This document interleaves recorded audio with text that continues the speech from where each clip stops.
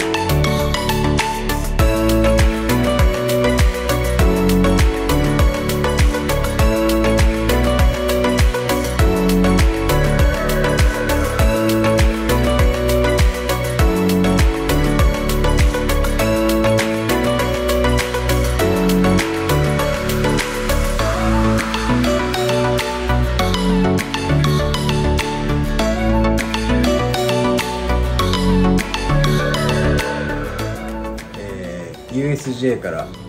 帰ってきましてお風呂に入ってちょっとゆっくりした感じで撮影をしてるんですけども冒頭でも言ってたんですけど付き合って10年になりますが一回も遠出をしたことがない。遠出に行けたっていうところは恩返しになったのかな？なってるかな？高校も浪人して大学入って辞めて前職の会社に行った時もずっと仕事とかそっちの方にしか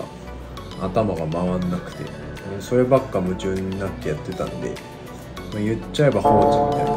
いな感じにさしてしまってたのかなと申し訳ないことをしてたなぁと思います。でもやっぱりスカイスクレーパーに、えー入社させていただいてこうやってちょっとですけど恩返しができるようになったっていうのは僕の中ではとても変わらし成長したところかなと思います。なんかめっちゃ真面目になってる俺、今後もね独立させていただいたらもっともっと恩返しできるようにいろんな人に迷惑をかけて恩返しできるようにしていきたいな